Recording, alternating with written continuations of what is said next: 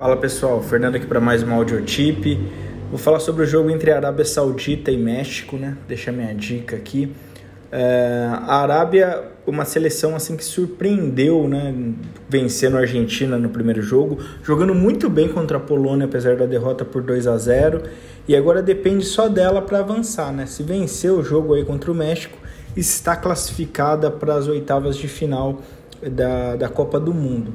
Pelo lado do México, né, a, a equipe mexicana precisa vencer e ainda tirar a diferença do saldo de gols, né, tanto de Polônia ou Argentina ou torcer ali para a Argentina perder da Polônia. Então a situação do México não é nada fácil assim, é uma situação bem complicada. O Tata Martino muito pressionado.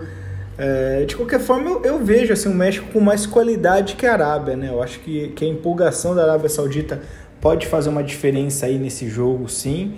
Mas a qualidade técnica, ainda que esse time mexicano não seja um dos melhores assim, é, tem, tem mais qualidade técnica, sim, ao meu ver, que a Arábia Saudita.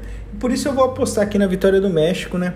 O México que não cai na primeira fase de uma Copa do Mundo desde 1978, tem praticamente um destino já traçado, mas eu vou apoiar o melhor time.